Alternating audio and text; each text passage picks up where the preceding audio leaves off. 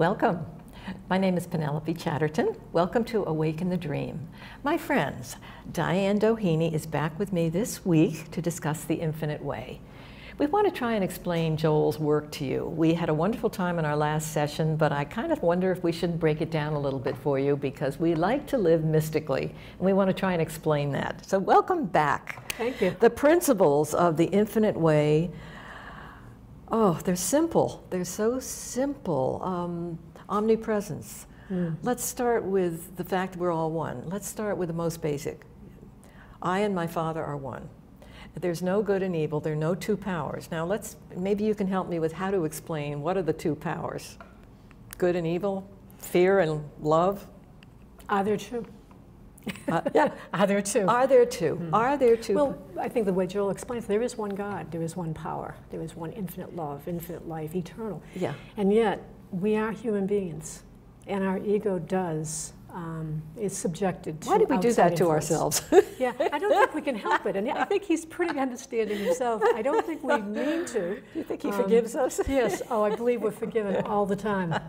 Um, forgive them, God, they know not what they do. I think that we are influenced a great deal, oh my gosh, during the political season, during the weather, during all the outside The weather. influences. Sure.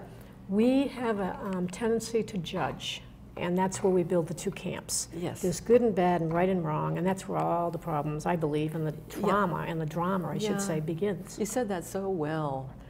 There's one power, there's one God, and He's all good and He's all love, and there's nothing else That's going the on. simplicity.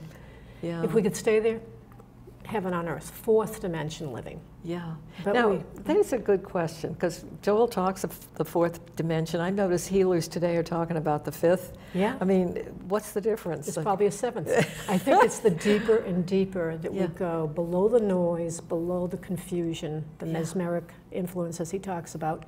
I think the deeper we go into the silence, I think that there is a whole other realm. yeah.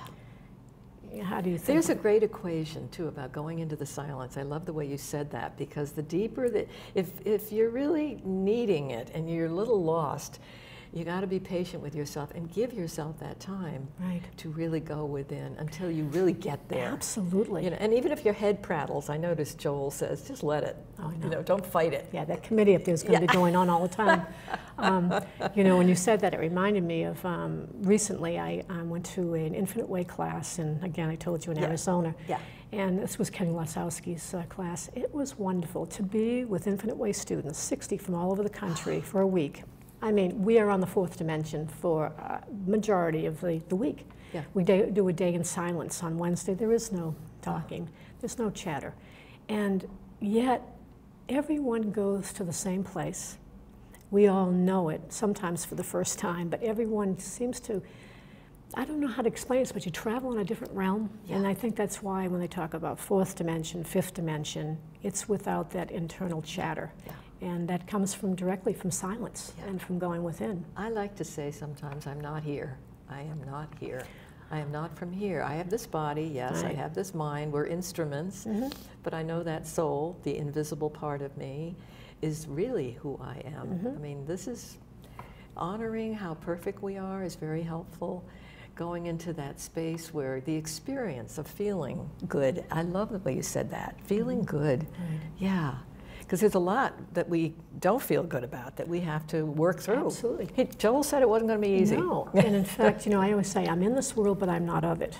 Yeah. When I'm conscious, I'm not of it. Yeah. And yet, and Joel also said, and, and many, many teachers have probably reiterated it, it doesn't mean things aren't going to happen because we're on a spiritual path. Yeah.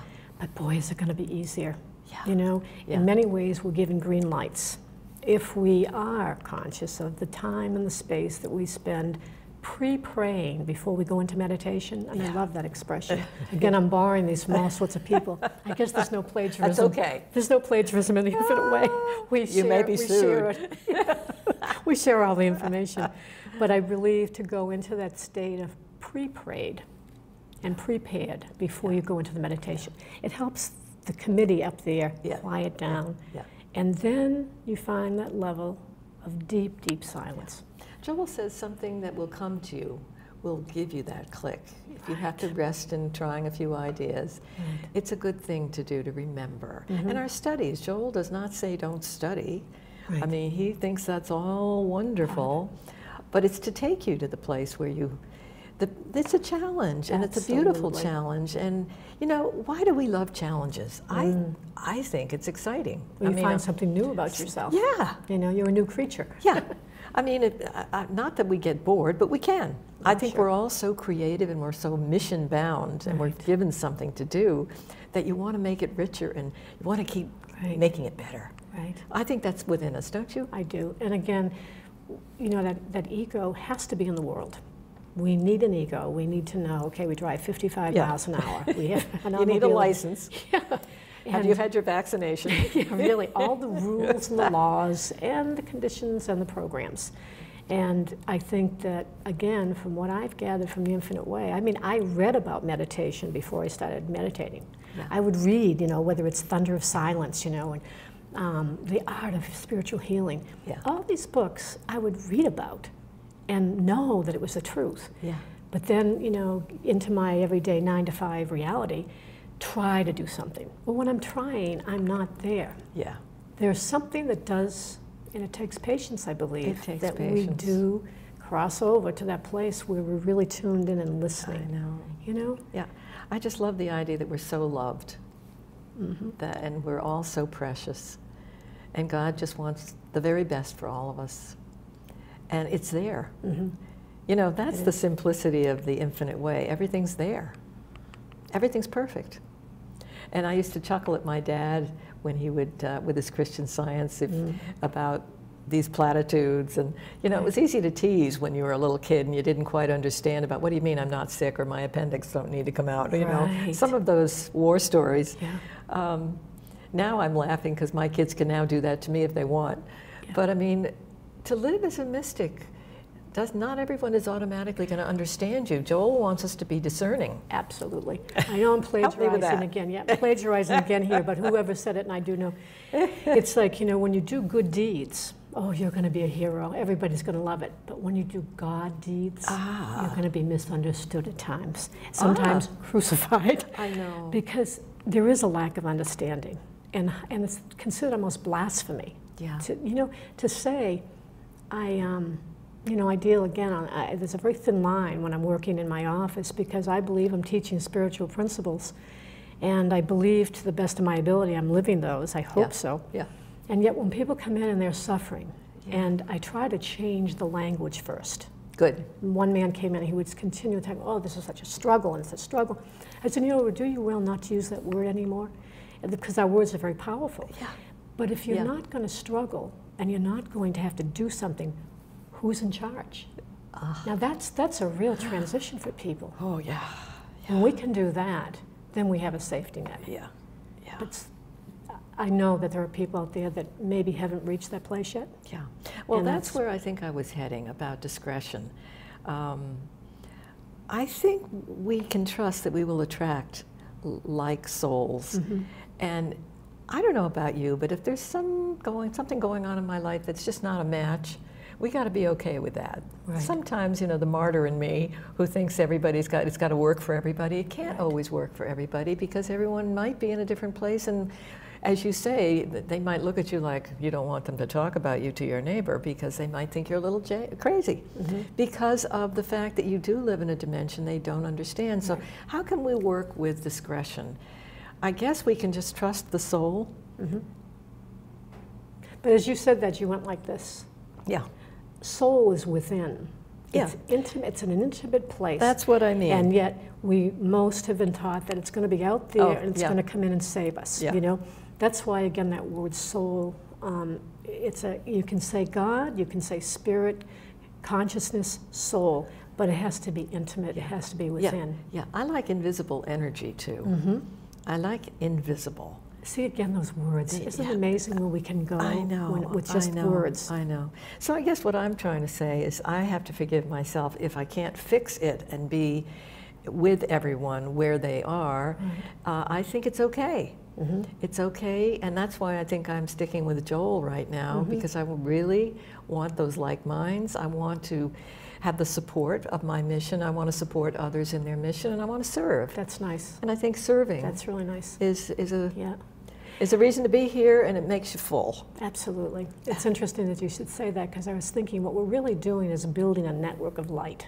Ah, You know, it is very secret, very sacred, very silent in a way, and yet there's a certain synchronicity when you meet people. Like I love when someone tells me they know Joel Goldsmith in the Infinite Way. I have an automatic connection You're on your with that- knees. yeah, I have an automatic connection with that person because again, there's only one language, there's only one love, there's one, you know, Yeah. one God. Yeah, yeah.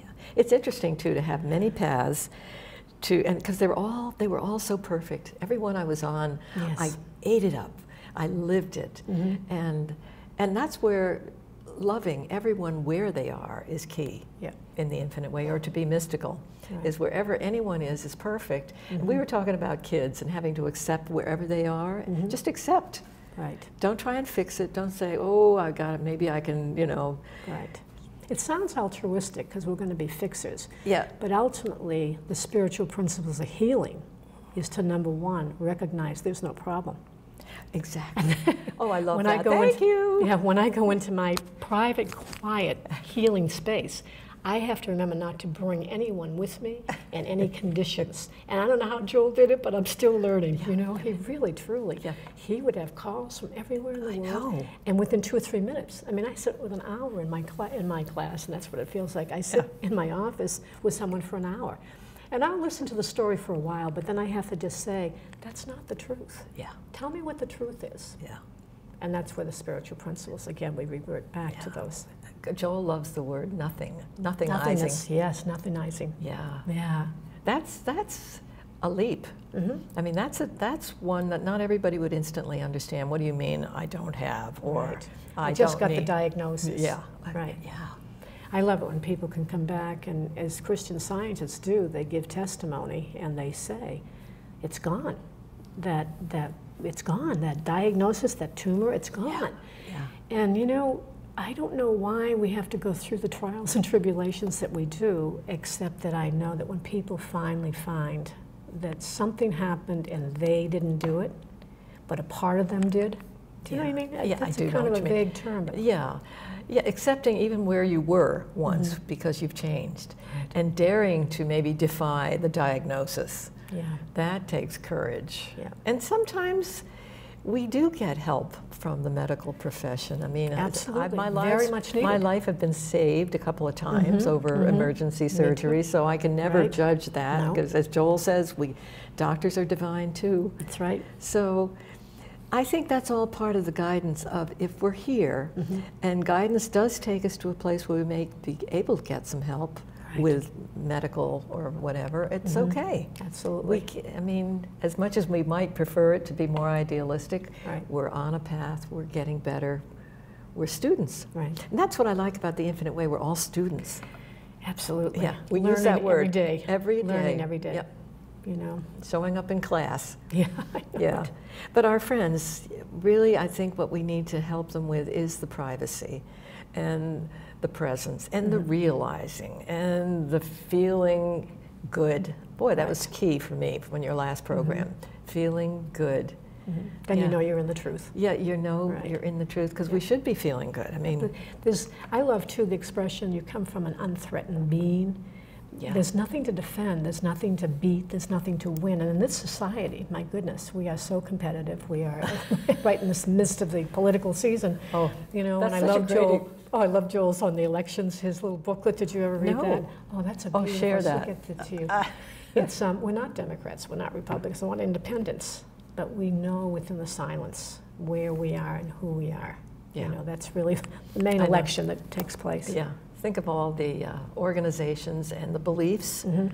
I mean, in every category that you can imagine, there is a variety of different beliefs. Absolutely. And where anyone is, I have to keep saying that for myself to in accepting wherever Mhm. anyone is, and you help me with that, is it's okay.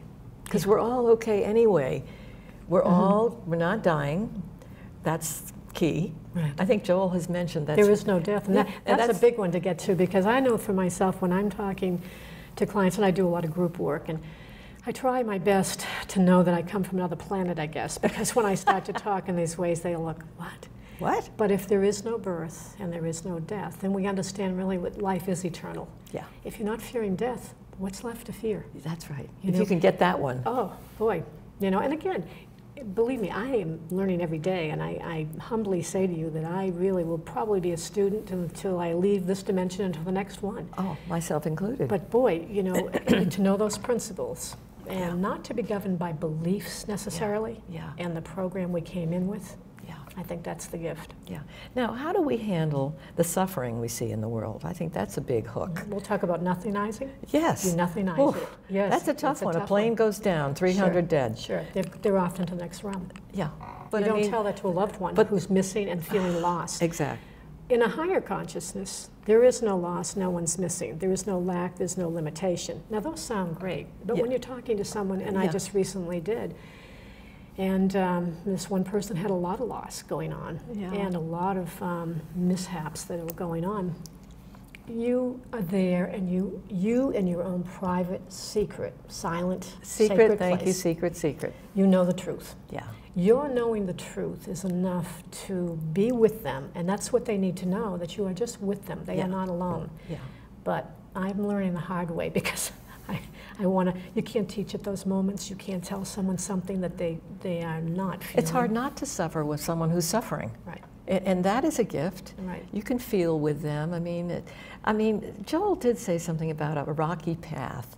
That Mhm. you know, sometimes the harder it is, the more loss, maybe the more abandonment issues we have. Mhm.